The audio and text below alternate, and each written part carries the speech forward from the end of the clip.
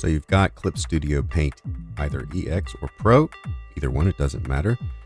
And you find yourself getting started and looking at this toolbar and being a little overwhelmed at what the different settings are.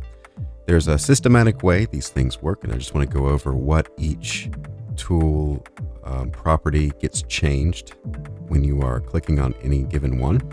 So when you start, you'll see the first tool up here is Zoom, and there's two windows that you really need to do, or two panels you really need to understand, and that's the tool panel, it switches up between the tools, and every time you click one, over here you will see that this panel, where the tool properties, the subtool, and the brush size is.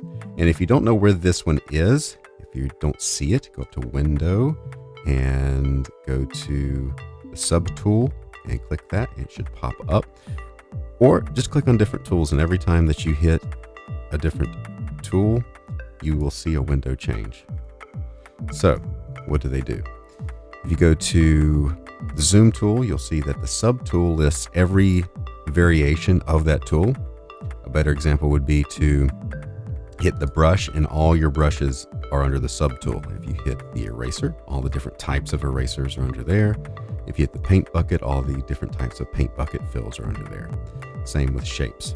So you will use this one a lot when you click on these different tools. It's just the sub tool is, will change and show you all the different options for that tool.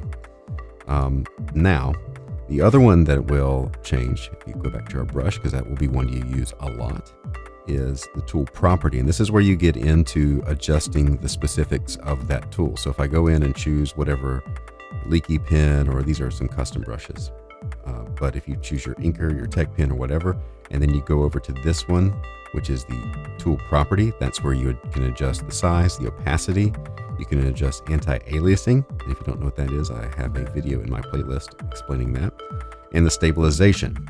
So when I click on a different tool, you will see that that tool property also changes. So the selection lasso tool, you can choose your selection mode, again, anti-aliasing, the zoom, how that does, again, under tool properties. The third one in that same window is the brush size. If it is grayed out, that means that there, the brush size does not apply. So for the zoom, it's grayed out. If I go to my brushes, it lights up and you can quickly choose the different sizes of your brush.